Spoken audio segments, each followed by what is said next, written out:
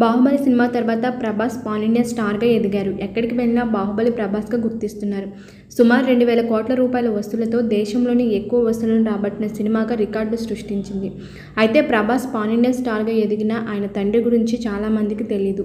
ఈ వీడియోలో ప్రభాస్ గారి తండ్రి గురించి కొన్ని విషయాలు తెలుసుకుందాం. ఉప్పలపాటి వీర వెంకట సత్యనారాయణ రాజు లక్ష్మీదేవి దంపతులకు పంతొమ్మిది వందల నలభై తొమ్మిదిలో పశ్చిమ గోదావరి జిల్లా మొగుల్తూరులో జన్మించారు ఉప్పలపాటి సూర్యనారాయణ రాజు. వీరి కుటుంబం క్షత్రుల రాజుల వంశానికి చెందినది. వీరు విజయనగర సామ్రాజ్యానికి చెందినవారు. సూర్యనారాయణ రాజు గారికి ఇద్దరు పెదనాన్నలు ఇద్దరు చిన్నాళ్ళు ఉండేవారు. సూర్యనారాయణ గారి కంటే ముందు పంతొమ్మిది వందల నలభైలో కృష్ణంరాజు గారు జన్మించారు. అన్నదమ్ముల కుటుంబం అంతా కలిసే ఉండేవారు. రాజుగారి ఫ్యామిలీలో పిల్లలంతా స్కూల్కి వెళ్తే స్కూల్ అంతా నిండిపోయినట్టుగా ఉండేవారంట.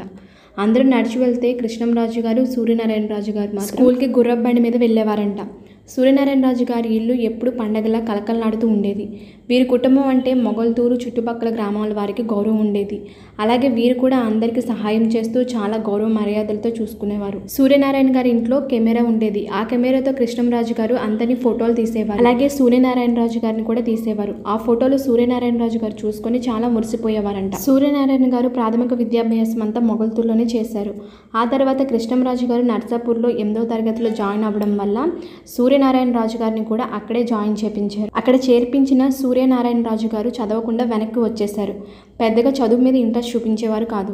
ఆ తర్వాత కృష్ణంరాజు గారు సినీ పరిశ్రమలో హీరోగా స్థిరపడ్డాక తన తమ్ముడు సూర్యనారాయణ రాజు గారిని కూడా మద్రాసుకు తీసుకువచ్చి నిర్మాతగా చేశారు. అప్పటికే సూర్యనారాయణ రాజు గారు చదువులు మధ్యలోనే ఆపేసి ఊర్లో ఉన్న ఆస్తులను తండ్రి బాబాయిలతో పాటు చూసుకునేవారు.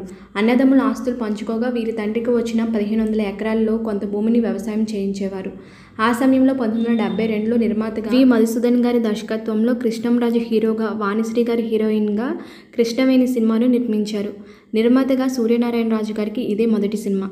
ఆ తరువాత పంతొమ్మిది వందల డెబ్బై నాలుగులో భక్త కన్నప్ప సినిమా నిర్మించారు. ఈ సినిమాతో సూర్యనారాయణ రాజు గారికి కృష్ణంరాజు గారికి మంచి పేరు వచ్చింది. ఆ తర్వాత అమరదీపం మన ఊరి పాండవులు త్రిశూలం బొబ్బిలి బ్రహ్మాండ ఇలా సూర్యనారాయణ రాజు గారు నిర్మాతగా సినిమాలు తీశారు. అయితే సూర్యనారాయణ రాజు గారు తీసిన ప్రతి సినిమాలో కృష్ణంరాజు గారి హీరోగా చేశారు. వేరే వారిని హీరోగా పెట్టలేదు. సూర్యనారాయణ రాజు గారు తాండ్ర పాపారాయుడు సినిమా తర్వాత ఏ సినిమా తీయలేదు. అప్పటికే శివకుమారి గారితో సూర్యనారాయణ రాజు గారికి వివాహం అయ్యి ముగ్గురు పిల్లలు కూడా పుట్టారు. పెద్ద కొడుకు కూతురు తర్వాత పంతొమ్మిది వందల డెబ్బై తొమ్మిదిలో ప్రభాస్ జన్మించారు. సూర్యనారాయణ రాజు గారు సినిమాలు ఆపేసేసరికి ప్రభాస్ వయసు ఏడు సంవత్సరాలు. ఆ తర్వాత సూర్యనారాయణ గారు మద్యానికి బాగా బానిసయ్యారు. అయితే రెండు వేల రెండులో ప్రభాస్ని హీరోగా పెట్టి ఈశ్వర్ సినిమాను మొదలుపెట్టారు. అందులో ప్రభాస్ గారు చెప్పిన మొదటి డైలాగ్ విని చాలా మురిసిపోయారంట సూర్యనారాయణ రాజు గారు. ఆ తర్వాత బిర్లా సినిమా నిర్మాతగా వ్యవహరించారు. అప్పటికే మద్యానికి బానిస అవ్వడంతో ఆరోగ్యం పూర్తిగా పాడైపోయింది. రెండు వేల పది ఫిబ్రవరి పన్నెండున సూర్యనారాయణ రాజు గారు కన్నుమూశారు తండ్రి మరణంతో ప్రభాస్ చాలా కృంగిపోయారు. అప్పుడు పెదనాని కృష్ణంరాజు గారే ప్రభాస్కి సపోర్ట్గా ఉన్నారు.